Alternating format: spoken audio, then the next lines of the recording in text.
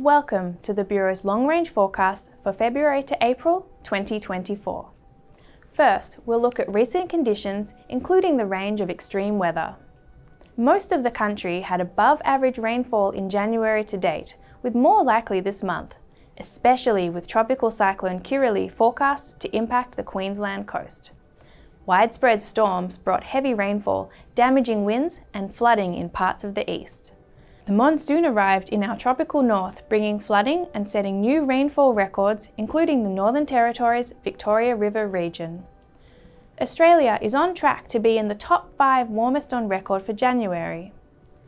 Temperatures were above average across large areas, especially Western Australia, where the fire risk continues. The state had significant fires in January, including in areas north of Perth.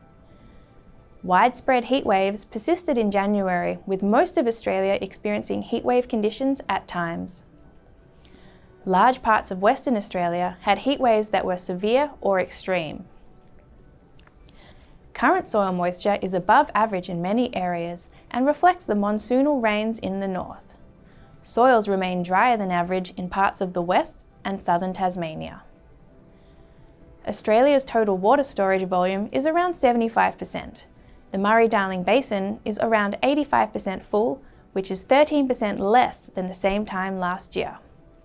Storages on the southwest coast of Western Australia are around 45% full, which is an 11% decrease on last year. So, looking ahead at the long-range forecast for February to April, the forecast shows a high chance of below average rainfall for much of the northern half of Australia, extending into some parts of the west and central areas. However, we are in the northern wet season, so many of these areas typically have high rainfall at this time of year. The strongest dry signal is for February.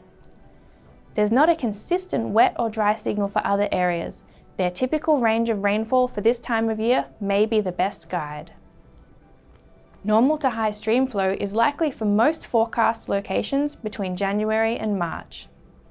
The long-range forecast shows days and nights are very likely to be warmer than usual for most of Australia between February and April.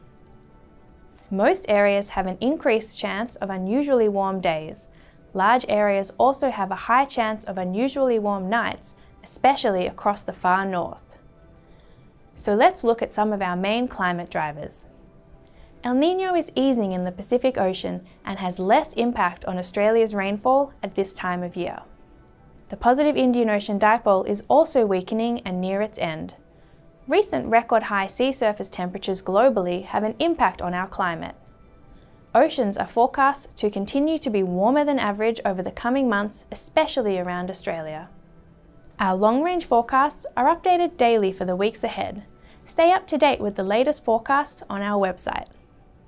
In summary, the February to April forecast shows reduced rainfall across the north and parts of the west and central areas, warm days and nights, risk of heat waves and bushfires, risk of storms and flash flooding, and the tropical cyclone risk remains.